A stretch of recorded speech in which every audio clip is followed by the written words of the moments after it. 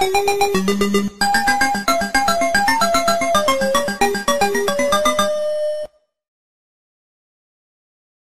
are you and what do you do? Who am I? I'm Chad Dexter Naughty Dog. Number one arcade player in Dig Dug. 48 years old. Been playing ever since I was 13. What is Dig Dug? Dig Dug's a way of life.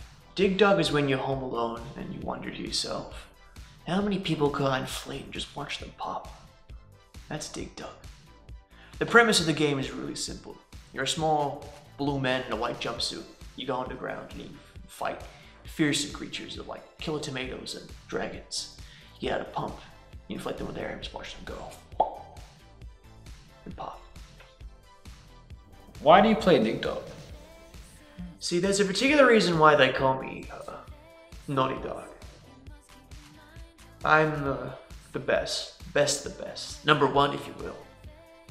You know? I'm above number one. I'm number zero. Okay. Ever since I was about 15, dropped out of high school, left everything I cared about behind, friends, family, and I took it professionally. Arcade playing. I uh, I've beaten so many games. I've, matter of fact, met so many people and you just couldn't imagine it all. the blood, sweat, and tears I put in just to get to where I am. Relentless. And if you think you can beat me at where I am, you're wrong. You're dead wrong. How long do you play every day? I probably play about 9 to 10 hours daily. I get about 4 hours of sleep most nights. It's pretty much a 9 to 5 job, except just with more Cheetos. So who's your competition? My primarily concern for competition is by a, a young Canadian by the name of Jack Ripper Donson. Uh, we've been at each other for about a couple of years. I despise every bit of him.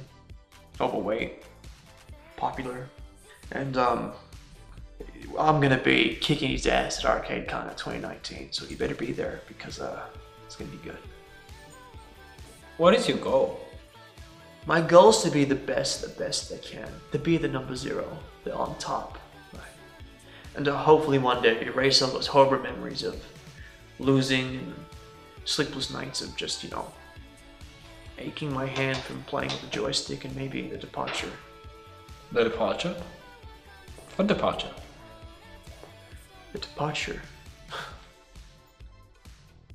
yeah, I guess I haven't really. I, uh. When a man and a woman don't like each other after a period of time, they, uh. part ways. If you will. Um.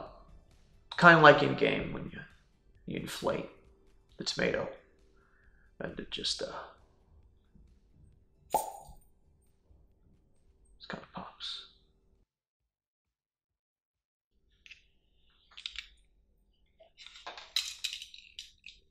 I think we're done.